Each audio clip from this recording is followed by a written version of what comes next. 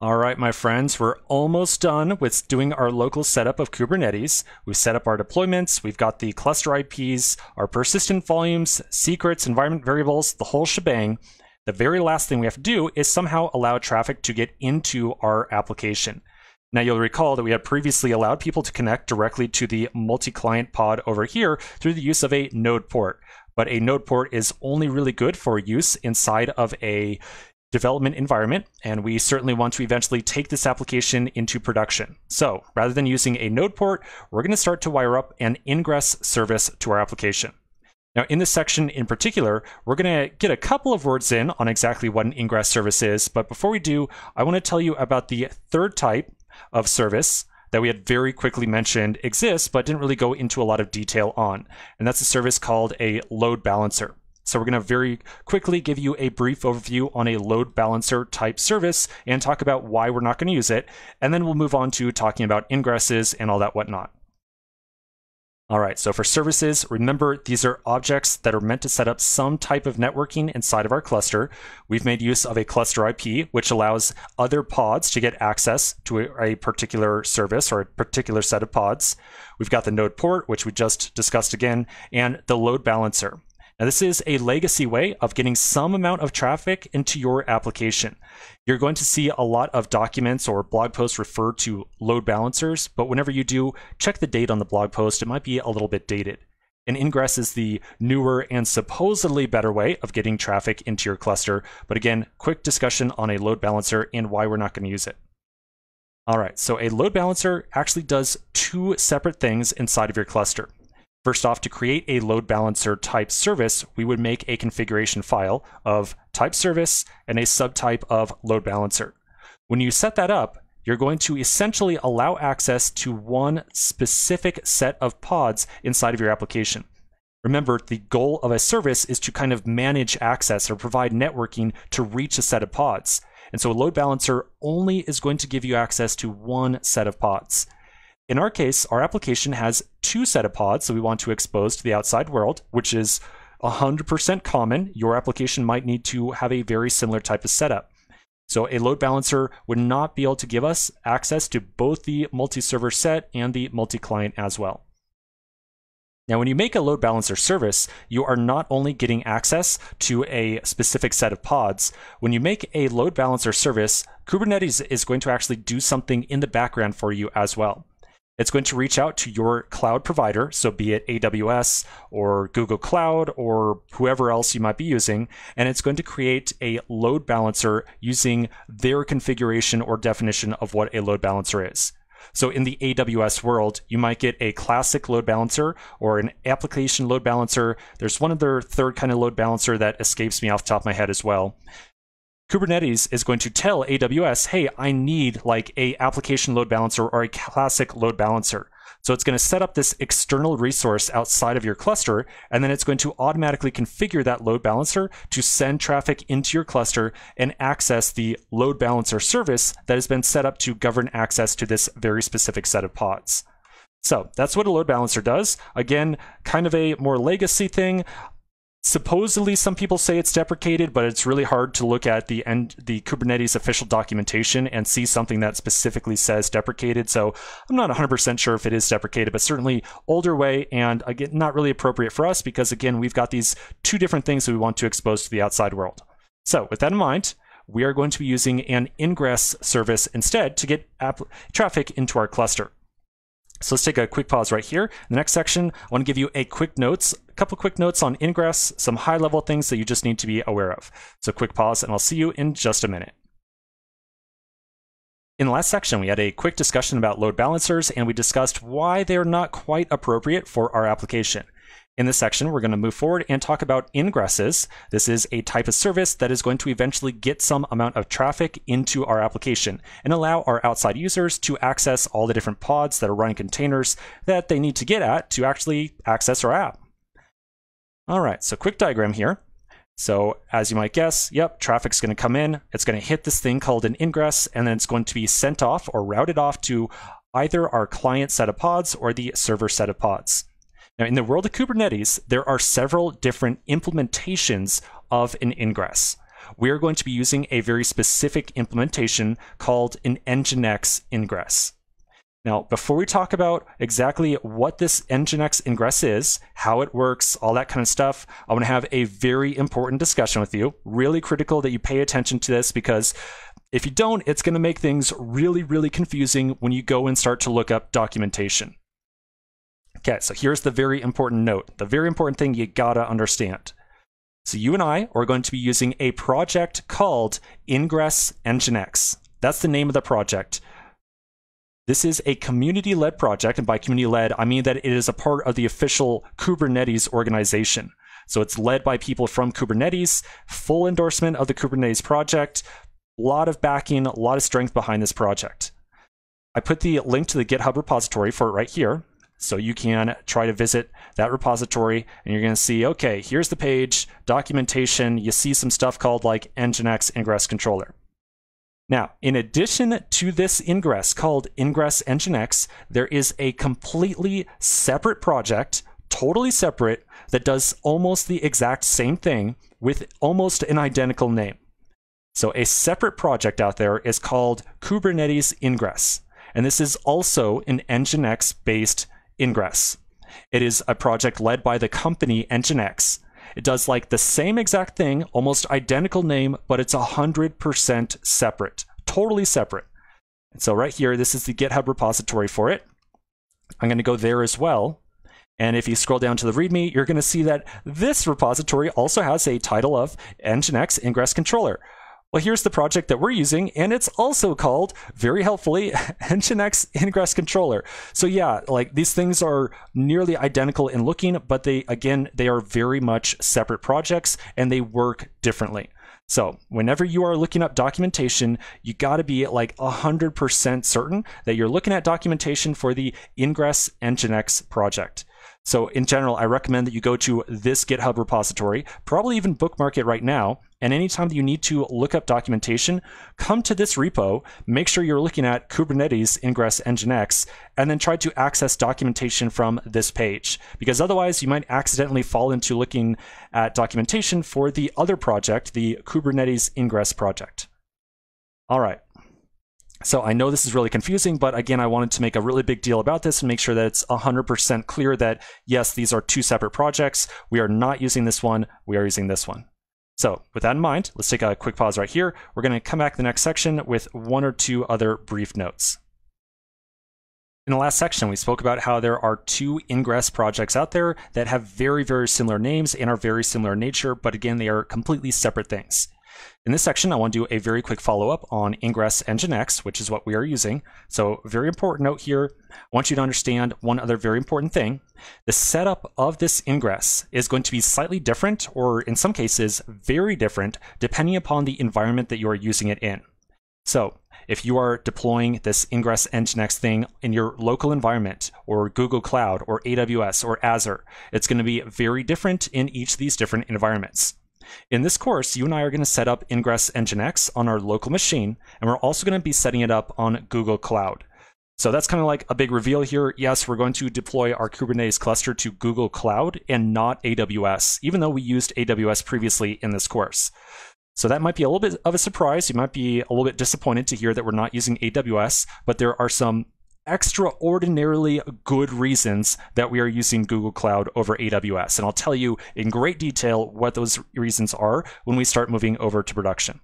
So this is the other note that I want to throw out there, just to make sure you are 100% aware that this ingress stuff, as uh, you probably are able to tell, it's a little bit finicky right now in the world of Kubernetes. You know, you got these identical projects. The setup is very different depending upon the environment. So you know, hopefully we're going to get through this stuff together without too much pain, but we'll see what happens.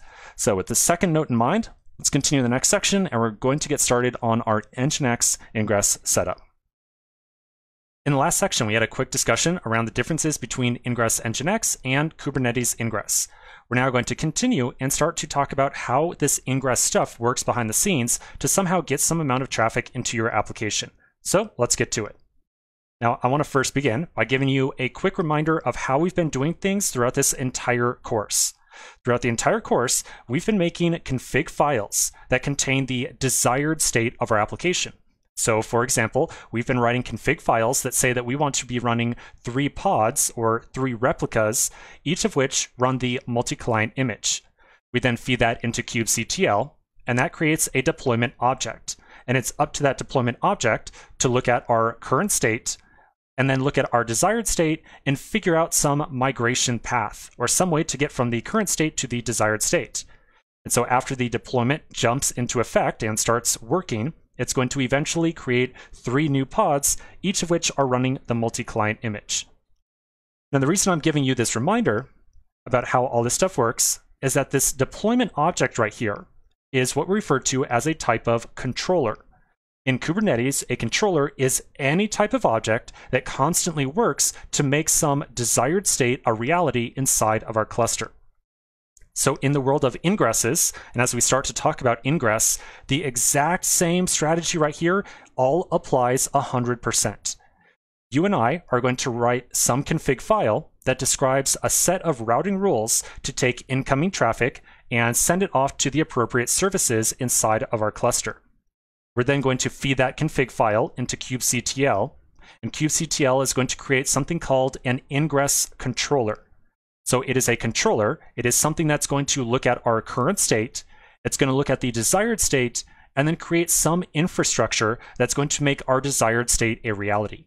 So in the case of our particular ingress controller, which is, as you might guess, using Nginx behind the scenes, when we feed in this config file, the controller is going to create a pod running Nginx that's going to have a very particular set of rules to make sure that traffic comes in and gets sent off to the appropriate different services inside of our cluster. So you can kind of think that this entire setup around ingress looks a little something like this. We have our ingress config over here, which is our config file that describes all the routing rules that we want to have inside of our application. That's going to be fed into kubectl, where an ingress controller is going to be constantly working behind the scenes to make sure that all of the routing rules that we define inside the ingress config are actually implemented and met. And so it's going to be up to the ingress controller to create something, something, you know, who knows what it is, but something inside of our cluster that will take the incoming traffic, read some parameters in that traffic, and then send it off to the appropriate service. So the big takeaway right here, the only thing I want you to understand right now is that you and I are going to create something called an ingress config, which is going to be a set of routing rules. We're going to feed it into kubectl, which is going to create this ingress controller. And the ingress controller's job is to look at the ingress config, or that set of routing rules, and make that a reality. The ingress controller has to create some infrastructure inside of our cluster to make sure that we're actually obeying those routing rules. And so the ingress controller is going to make, again, something that accepts incoming traffic. Okay, so that's the kind of high level description of what's going on here. Now, in the case of the project that we are using, Ingress Nginx, things are going to work very similar to this, but just a tiny, tiny, tiny bit differently. And so infinitesimally differently, differently that I almost don't even want to tell you that it's working differently. But I am anyways, just so you understand how things are working behind the scenes. So with the very particular project that we are using of Ingress Nginx, the Ingress controller and the thing that actually accepts traffic and routes it off to the appropriate location is actually the same thing. So with the very particular Ingress project that we are using, the Ingress controller and the thing that routes traffic is the same thing.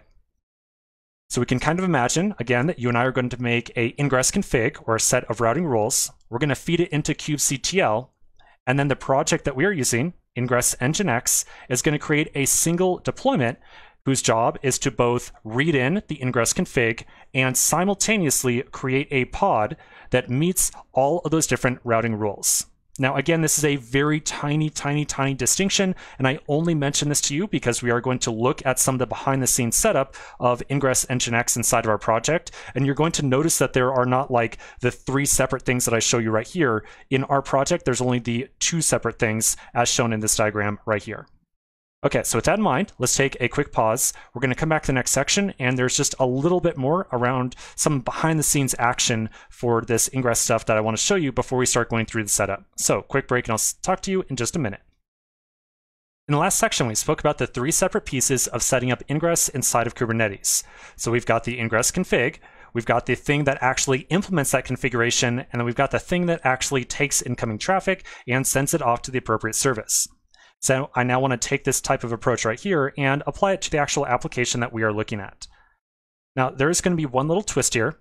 Remember that I had told you just a little bit ago that the setup of all this ingress stuff changes a little bit depending upon your environment. So we're going to look at a diagram here that describes how all this stuff is set up specifically on Google Cloud.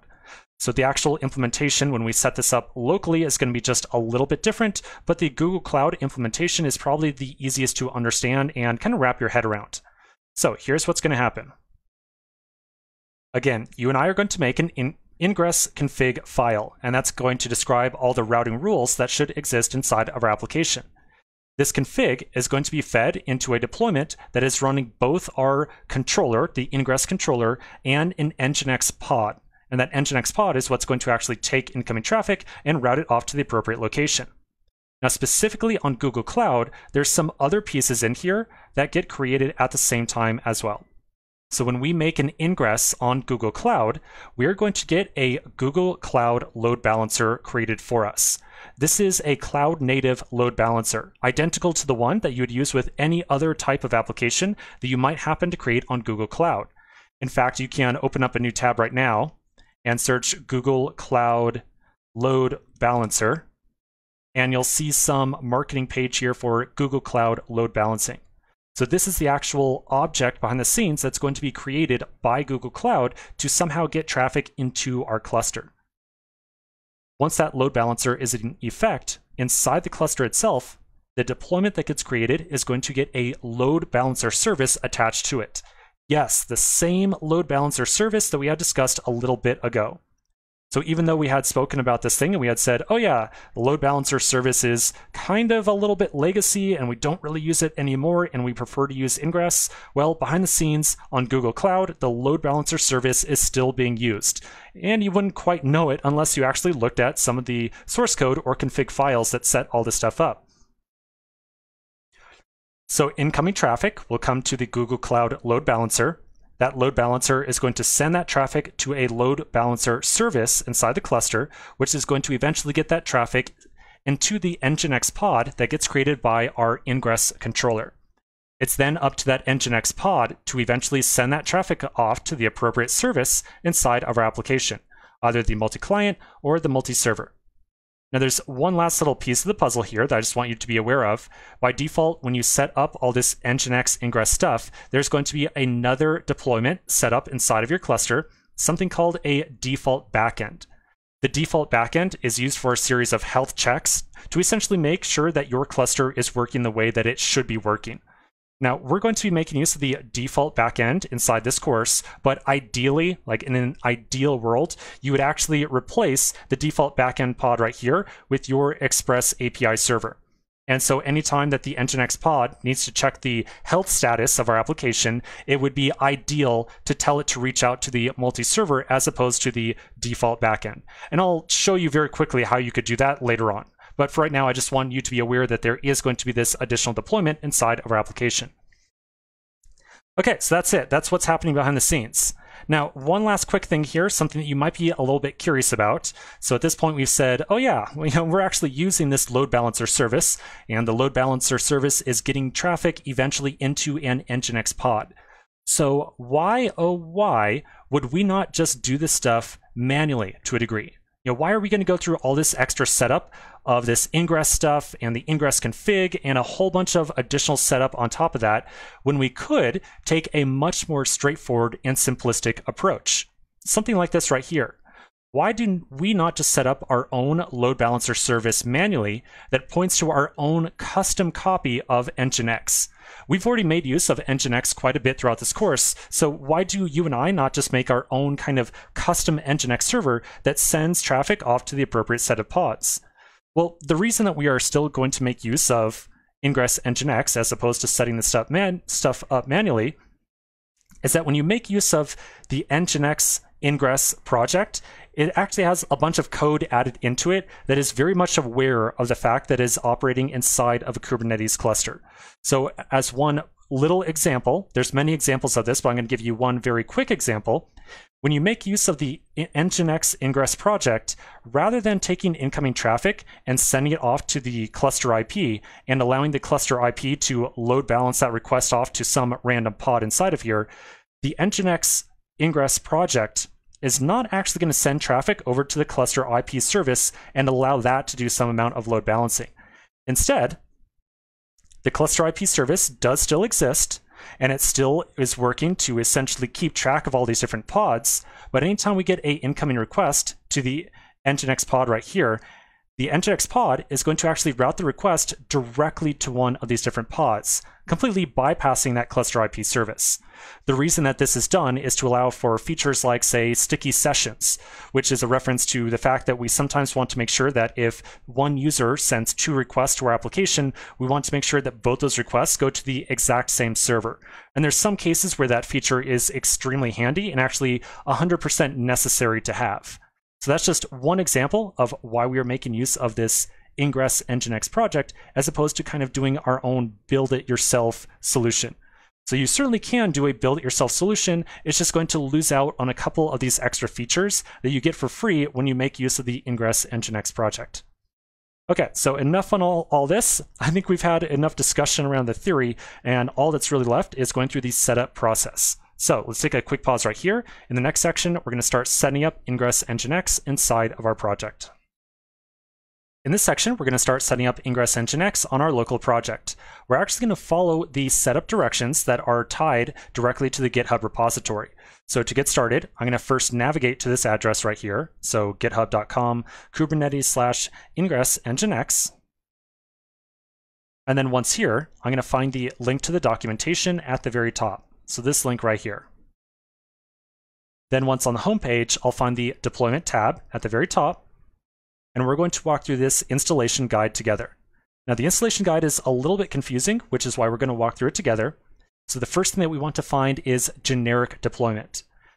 We have to go through this mandatory command right here for any of the other deployment targets. So even if we're trying to deploy to Azure or GCE or AWS, whatever it is, we have to execute this mandatory command right here. So we can take that command, copy paste it, and then run it inside of our terminal. But before we do, I want to very quickly show you what is going on behind the scenes with the command. So I encourage you to copy the link that's listed right here. You'll notice that at the very end, it's actually a YAML file. So it's a config file very similar to all the config files that you and I have been creating throughout this course. Then inside my browser, I'm going to visit the link to that config file like so. And so you're going to see something very quickly pop up. This is all the config that is going to be executed when we try to set up this Ingress Nginx project locally. Now, there's a couple of different objects inside of here that are going to be created that I just want to very quickly point out to you. You'll notice that the first thing that is created right here is something called a namespace. A namespace is used to kind of isolate the different resources that we are creating inside of our Kubernetes cluster. It's something we'll discuss just a little bit later on. Immediately after that, we'll see a deployment with the name of default HTTP backend. So again, this is a little deployment right here that is going to be created for us that's going to essentially serve as a health check and tell the Nginx pod that, yeah, our cluster is working the way that is expected to work.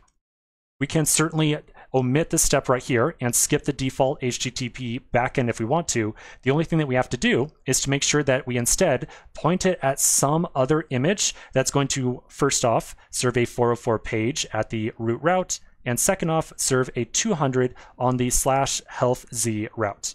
So again, we could certainly implement these two steps right here inside of our multi-server pod if we had wanted to. That means that we would not have to create this default backend. But again, we're going to make use of the default backend just to save ourselves a tiny bit of work. Now, as you scroll down a little bit further, you're going to see that we get a service created for the default backend. After that, you're going to see a couple of different things called config maps. Config maps are essentially objects that hold some amount of configuration that can be used throughout our cluster. We're not going to be too concerned with that stuff right now, so I'm going to keep on going. Pass the service account, or excuse me, yeah, service account, pass the cluster role. We're going to go down towards the very bottom and eventually find the deployment with the name of Nginx Ingress Controller. So again, in just this project that we're making use of, just this Ingress Nginx project, the ingress controller and the thing that is accepting incoming traffic is actually one singular object. So just with this one particular project, those two things kind of get merged together or sandwiched into this one single thing.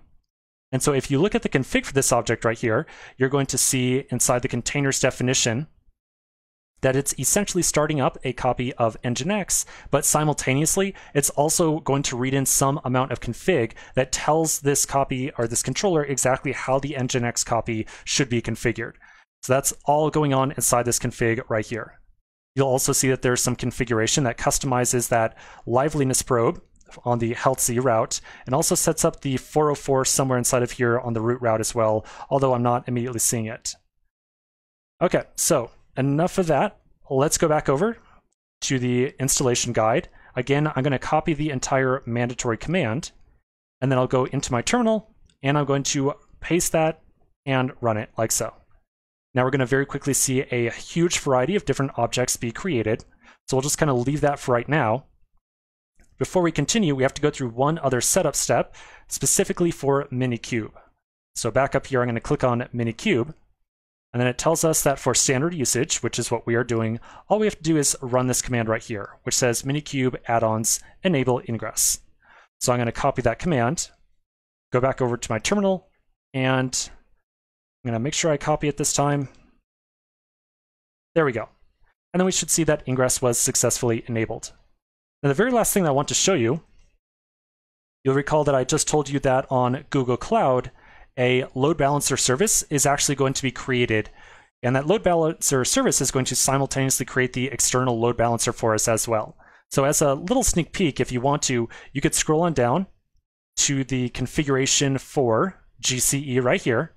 And then again, you can copy the link to the config file for GCE. And then if you open that up in a new tab again, this is what is going to be created specifically on Google Cloud. And so as you'll notice, it is in fact a service that is, has type load balancer. And so specifically on Google Cloud, a load balancer is created to route traffic into your application through the use of a load balancer service. I thought that was just a little bit interesting because you know, even though we're saying, oh yeah, load balancers are a little bit dated as a service in the world of Kubernetes, even this newer feature of Ingress is still using a load balancer behind the scenes. So again, I just thought it was a little bit interesting. All right, so that's all we had to do to set up the ingress locally. So let's take a quick pause right here. When we come back to the next section, we're going to start to configure our ingress resource. So quick pause, and I'll see you in just a minute. In the last section, we set up ingress nginx on our local machine. Now the last thing we have to do is create a new config file that's going to specify the different sets of routing rules that we want to use inside of our application. We're going to use the exact same routing rules that we had used back on some of our previous projects, specifically the Elastic Beanstalk one, where we set up our own custom Nginx server. So if you recall, back on that project, we had said that anytime we had some amount of incoming traffic, we looked at the path of the request. And we had said that if the request started with slash API, we were going to automatically send that request off to the server. Otherwise, we would send the request off to the client, assuming that it needed to access some of the client-side resources. So we're going to set up a ingress config file right now that's going to implement this routing rule set. So inside of my code editor, I'm going to find my K8s directory, and inside there, I'm going to make a new file called ingress service.yaml.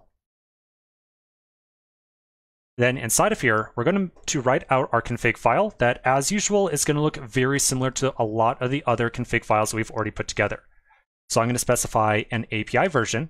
This one is going to have a longer version on it that we've not used before. We'll say extensions v1 beta 1.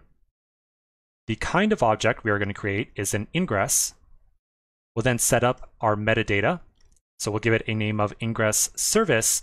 And then unlike previous metadata fields we set up, this one is actually going to have a couple of other metadata properties as well.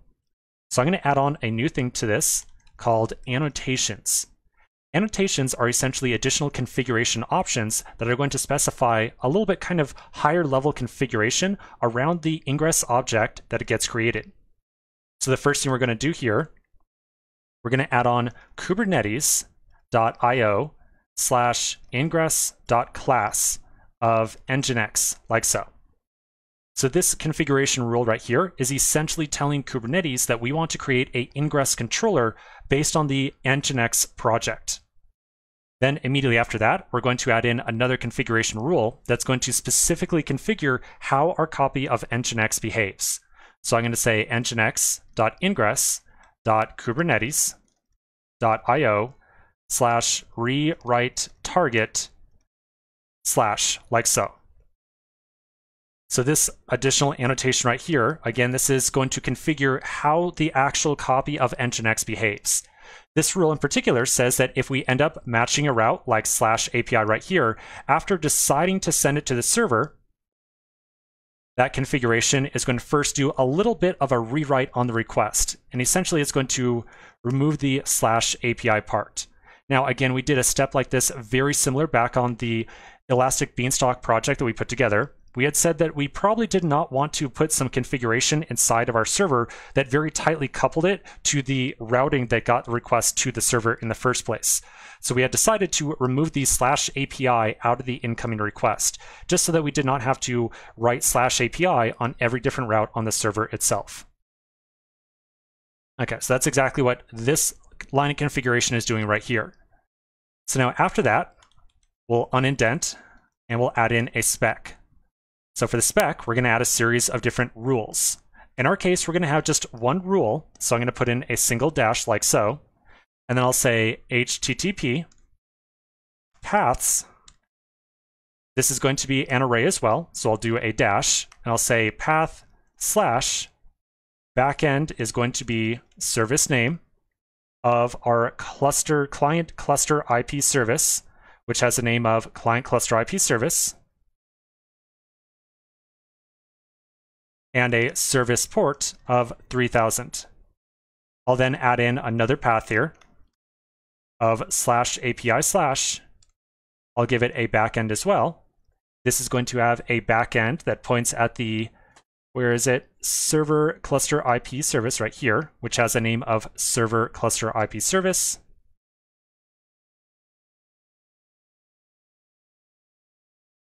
And a service port of 5000. Okay, so let's talk about exactly what's happening here. Now, we discussed the annotations, and then we very quickly dove into all the different rules.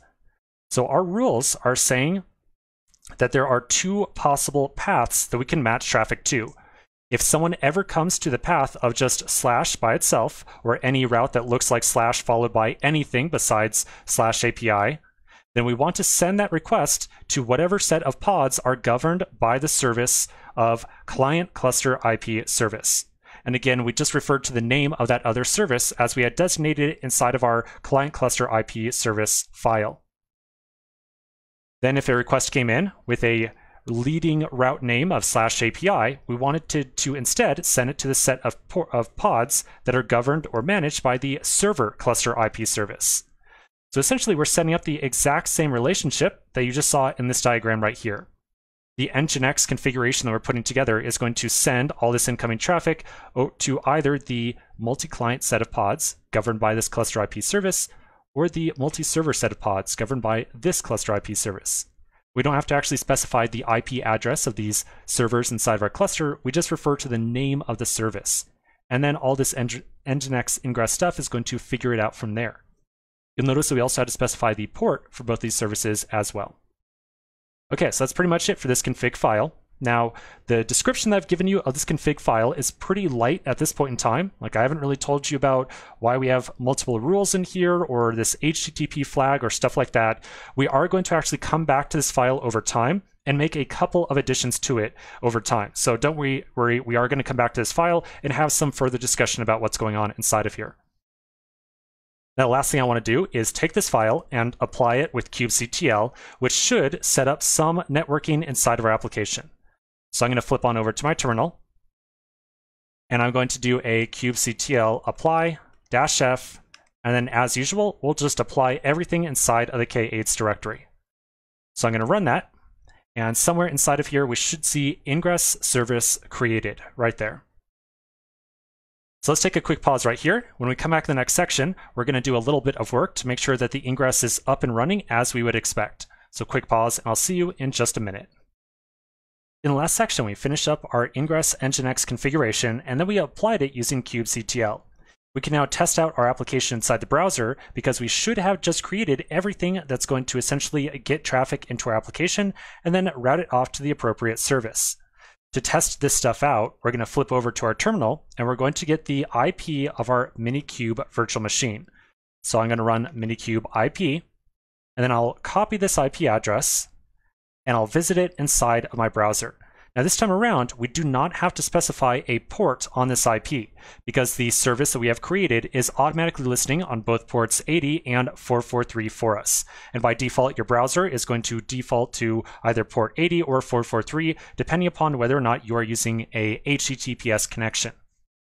All right, so when I go there, you're going to very quickly see a big security message appear on the screen. Now, I've already bypassed that warning message, but when you first navigate to this IP address, it's going to tell you, hey, danger, there's a security issue here. At the bottom left-hand side of that config or that error message, you'll see a little like get more info button. Go ahead and click on that button, and then you can click on proceed anyway. So at present, our Nginx configuration is attempting to force anyone who comes to our page to use a HTTPS connection as opposed to HTTP. By default, the Nginx ingress is going to use a kind of dummy certif certificate. So if you click on not secure up here, and then click on certificate, you'll see that it has a name of Kubernetes ingress controller fake certificate. And as you might guess, a fake certificate is not going to be accepted by Chrome at large. So the error message that you're seeing is going to be something that we're only going to have locally in development. When we eventually push this off to production, we're going to fix this error message. But for right now, in development, we're just going to let this sit as is. You only have to click past that error message screen one time. After you click there at least one time, you should be able to refresh the page and you're not going to see the error again. You're just going to see the HTTPS error, which is something that we can essentially palette right now for development purposes. Okay, so that's pretty much it. We should now be able to test out our application by entering in some index. I'll submit that, I'll refresh the page, and I should see all my numbers appear. So if you see all this stuff appear correctly, that means that your entire Kubernetes cluster is completely set up and ready to go for development purposes. So I think that we've got a great project here so far.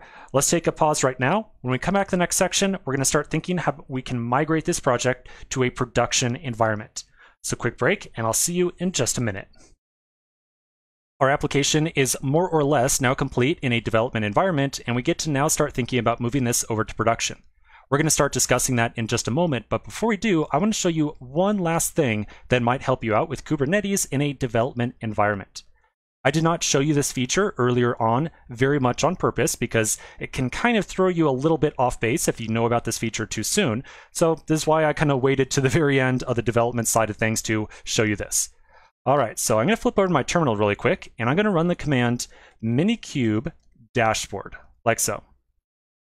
So I'm going to run that command, and then you'll very quickly see a message that says open opening Kubernetes dashboard in default browser, and you'll get redirected over to your browser as well. So the page that's popped up here, you might notice is hosted on our Minikube IP address at port 300,000. This is a dashboard that will show you information about everything that's going on inside of your Kubernetes cluster. And so it's actually a little bit fun to scroll through here and take a look at all the different deployments, pods, all this different stuff that has been created and is in service to somehow create and manage your cluster uh, with all your different containers and your entire application. So you can click through here a little bit and get a better idea of what's going on.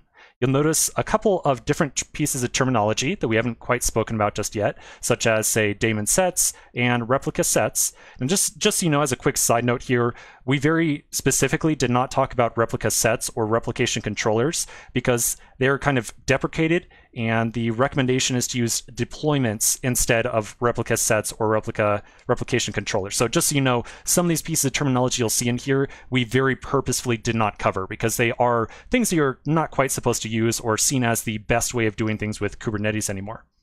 Anyways, I thought you might just find it a little bit interesting to click around here a little bit and take a look at some of the different services and pieces of data that exist in here. Now, I had said that I kind of purposefully did not show you this stuff earlier The reason for that was that you can actually edit or even create different objects using this dashboard. But remember, anytime we create an object in Kubernetes or anytime we want to change something, we do not do imperative edits if we can ever avoid it. And so if you click create up here, yeah, you can enter in a YAML file, but you don't really have a good record of what that YAML is. You can also say go to maybe pods over here and click on a pod and you can click on edit and make discrete changes to the YAML file or the config file directly right here. But again, if you make changes on the dashboard, they do not get somehow persisted back over to the folders and files that we've created inside of our project directory. So whenever possible, we always change the config files and not the actual configuration directly on this dashboard. So again, that's why I kind of wanted to hold off showing you this stuff right at the beginning because I didn't want you to kind of get into a habit of manually changing or creating different objects on here. We always want to prefer using config files inside of our project directory to manage these different objects. Okay, so again, you can take a look at this dashboard and just get a better idea of some of the different pieces of information that are displayed on here. Otherwise, let's take a pause right here and we'll continue in the next section and continue thinking about how we're going to move our application over to a production environment. So quick pause and I'll see you in just a minute.